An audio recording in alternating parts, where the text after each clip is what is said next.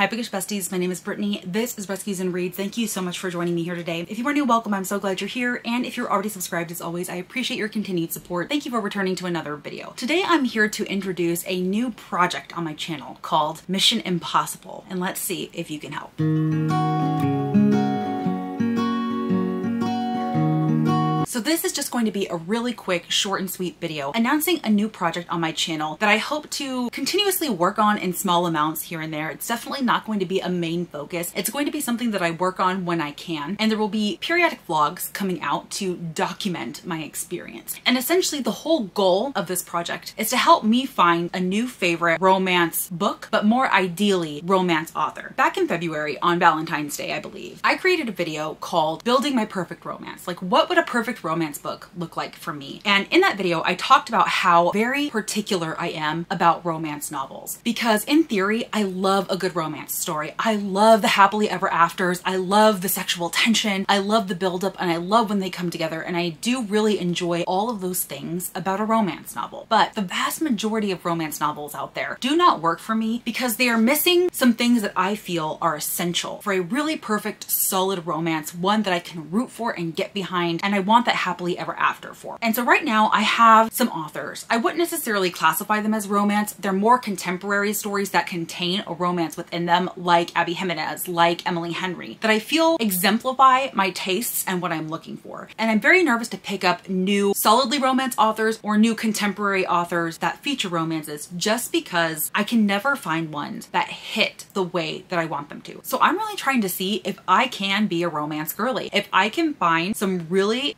exceptional romances or romance authors that I want to gravitate to time and time again. They don't have to be a perfect hit all of the time. Emily Henry certainly is not a perfect hit. And recently, unfortunately, Abby Jimenez has not been a perfect hit, even though I could have sworn she could do no wrong. But I want the majority of their stories to work for me, if that makes sense. So what I want to do is I want to get your input. I want to get your help, especially since I know a lot of you read romance exclusively or romance very heavily, and you probably have a good idea of what kind of authors write what. So let me tell you a little bit about what I really look for in a romance. And again, a lot of this is covered in that Building My Perfect Romance video that I posted back in February. And I also want to talk about some authors that I absolutely do not want recommended to me, just so you can kind of stay away from those authors and you don't waste your time recommending authors that I already know that I do not like or I am not willing to give another chance to. So the main thing for me in a romance is a slow burn. It 100% has to be a slow burn. And to be honest, I do not even want these characters to acknowledge an attraction to each other or lust for each other early on in the story. So I don't want insta lust and I certainly do not want insta love. I really want there to be a legitimate build up to the sexual tension and then the actual sexual relationship, romantic relationship that they get into. I completely acknowledge that a lot of romances really do mirror real life. You know, sometimes you meet somebody, you have a really intense attraction to them and it goes from zero to 100 really, really quick. I myself, when I was younger, I was definitely in those types of relationships. So I acknowledge that those are not exactly unrealistic, but I think within the story, it doesn't doesn't work as well because you're not given the opportunity to connect to the characters outside of the relationship and you're definitely not given enough time to actually root for the relationship. So slow burn is 100% a must. Another thing that's a must for me is harder hitting emotional elements. I am not looking for rom-com cutesy romances here. I am looking for romances that at some point are probably going to make me cry or tear up, you know, that you are actually gonna be able to feel the pain. You all know already that I'm definitely more of a character driven reader than I am a plot driven reader. So any story story that really is heavily focused on the characters and their development both separately and together is truly what I'm looking for within a romantic relationship. I do also definitely love some good banter. There are certainly some tropes also that I gravitate towards more than others. For example, I love a good hate to love relationship, enemies to lovers, grumpy sunshine. Those are some of my favorites. Y'all also know to steer clear of fake pregnancy, unexpected pregnancy, surprise pregnancy, any kind of pregnancy in a story I do not want. It's okay if an author that you recommend to me has like one book that features that, I would probably stay away from it. But if you're gonna recommend just a specific book to me, try to avoid having that in there. And also, I'm primarily looking for contemporary romance. I'm really not interested in super historical romance, especially like Regency era, Victorian era romance. That's not my thing. I'm looking for primarily contemporary romance. In terms of authors that I've tried and I've determined are really just not my thing, Christina Lauren is definitely a duo that I have 100% broken up with. I really don't find their books to be very very substantial at all. They're more on a superficial level. I really don't feel like I get an emotional connection to them at all. And after the disaster to me that was Love and Other Words, which is one of their most popular novels, I figure if I can't love that book, I probably just can't love them as an author duo. So I'm staying away from them. Tessa Bailey also, I read a couple of books by her and they have been fine, but for the most part, they're more light and fluffy than I typically want them to be. So I'm kind of steering away from her as well. I've also tried Ana Huang. I tried the Twisted Love book, the first book in that series, and absolutely not. It was one of the worst romance books I have ever read in my entire life, and I will never, ever, ever give Ana Huang another chance. I would also prefer to stay away from Elsie Silver. I read the first two books in the Chestnut Spring series, and they were okay, but I could already tell that they were not going to be new favorites to me. They didn't do anything spectacular to me. They weren't amazing. I don't get the hype behind Elsie Silver. I'm totally okay with the small town romance, the western romance, or things like that, but there were just some things that she does in her stories that were not really for me, and I'm definitely looking to stay away from her as well. So those were just some authors that I could think of off the top of my head that I would prefer were not recommended to me. I'm sure that there are plenty more out there that I'm not thinking of, but if you do recommend them to me, if I'm willing to give them a second chance, I will. Otherwise, I'll kind of let you know that I've already read them and you might want to give me another recommendation. So now it's kind of a challenge for you. I'm asking you to recommend me authors or books that you think that I will love based on some of my criteria, some of the authors that I've loved in the past. Again, I'm going to say Abby Jimenez, Emily Henry. I absolutely love the Simple Wild series by K.A. Tucker, but I don't necessarily think all of K.A. Tucker's